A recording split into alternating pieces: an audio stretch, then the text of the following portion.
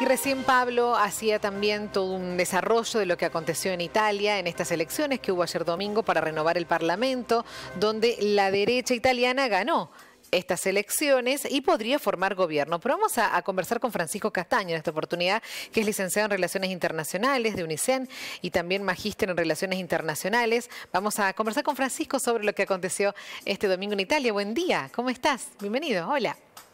Buen día, Mercedes. ¿Cómo te va? Muy buenos días. Gracias nuevamente por la invitación. Me da un placer eh, tenerte acá con nosotros para que nos ayudes también a entender qué es lo que ocurrió en Italia, cuán importante es esta elección. Bueno, háblame de, mm, Meloni. ¿Qué podría convertirse? Es, algo un hito en Italia porque podría convertirse en la primera mujer premier de la historia.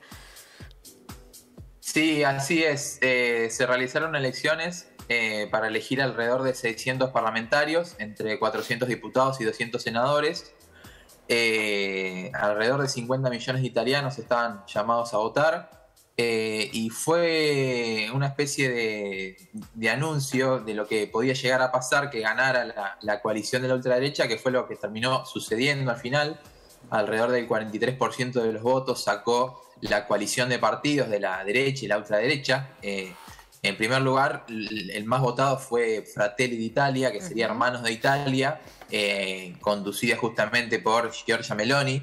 Eh, y esta, esta coalición estuvo acompañada por la Liga, la Lega y Forza Italia, el partido del histórico Silvio Berlusconi. Eh, y en este caso se habla de que Meloni sería la, la elegida premier porque el sistema de Italia eh, Sergio Mattarella, que es el actual presidente, tendría que pedirle formar gobierno a una persona, digamos, de la coalición de este partido, como el partido mayoritario fue la de Fratelli d'Italia, Hermanos de Italia, conducido en este caso por Meloni, es casi con seguridad del 100% que ganará y será elegida Meloni para conducir como Premier Italia por primera vez en la historia de, la joven República Italiana. Espera, que hago un paréntesis porque tenés compañía y veo, veo que... Está interesante, parece ser. le, interesó el tema, le interesó que hablemos de las, de las elecciones en Italia y mira, y quiso aparecer en cámara. Bueno, ¿cuándo sucedería esto que nos estás diciendo de, de Meloni que podría ya formar gobierno? Eh, ¿Cuánto falta? ¿El mes que viene es? Sí, aproximadamente. es probable que, en octubre, que eh, no, hay una fecha especial, digamos, por constitución, que, una vez realizadas las elecciones sea nombrada, porque además estas elecciones fueron llamadas en julio, cuando el que es actual primer premier, Mario, Mario Draghi, ex presidente del Banco Central Europeo, eh, dimitió, pero no dimitió de pleno, sino que sigue estando, digamos, hasta que asuma Meloni que, bueno, que probablemente la, elegirá Mattarella el presidente eh, para el mes que viene. Eh, otra nota relevante de, la elección fue el desplome de lo que fue la participación ah, en la elección de Italia. Mucha apatía, ¿no? Eh, sí, alrededor del 65% de participación de los ciudadanos. Recordemos que el voto no es obligatorio. Claro.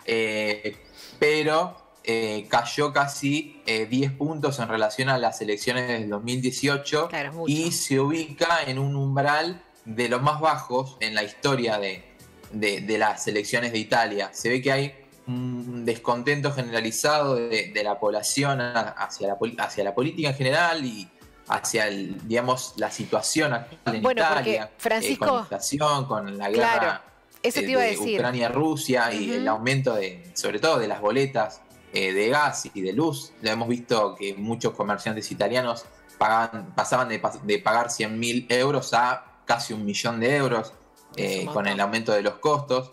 Eh, más allá de que sea la, derecha, la ultraderecha, en este caso Forza Fratelli d'Italia, es una especie de un partido heredero del movimiento socialista italiano, que es un movimiento fascista, es el heredero de este movimiento.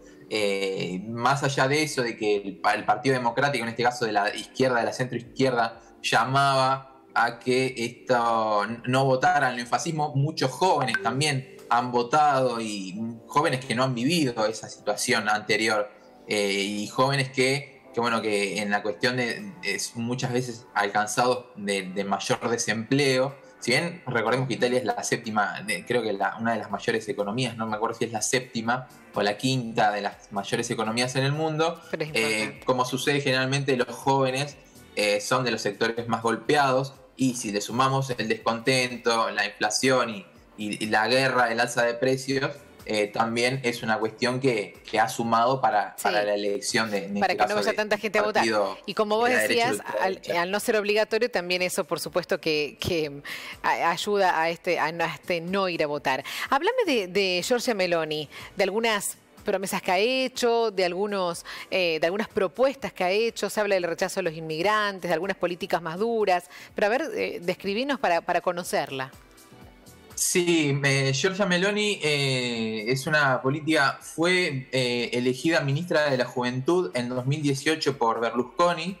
tiene una carrera política muy interesante. Empezó, bueno, eh, a los 15 años a meterse en la política, fue dirigente de movimientos estudiantiles, eh, empezó a participar de, digamos, de lo que era la eh, partidos de, estudiantiles y a partir de allí se fue metiendo en política.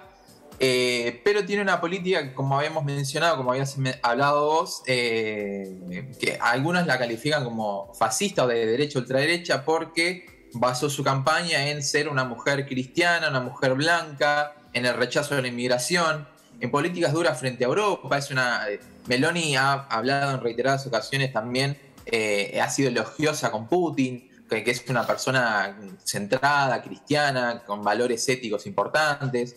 Eh, también ha basado su, su, campaña en una menor presión fiscal. es decir, es una, una, una, persona, una mujer que, bueno, que es periodista política italiana, que eh, ha tenido una campaña muy clara en ese sentido. No han dado con tapujos, ha dicho sí algunas cuestiones, no como, las que había mencionado, no por ejemplo a eh, el colectivo LGBTQ, eh, entre otras cuestiones que han marcado, diciendo, basando esta campaña justamente en que es una mujer, madre italiana, cristiana, que son cuestiones propias y que este movimiento globalizador, como lo llama ella en este caso, no, no podrá arrebatárselo. Perfecto, Francisco. Bueno, te queremos agradecer, como siempre, este ratito. Muchas gracias. Es importante tu explicación siempre para entender ¿no? el contexto también, en este caso, de Italia. Te mando un abrazo. Bueno, Mercedes, muchas gracias a ustedes y nos reencontramos la próxima. Dale, será un placer.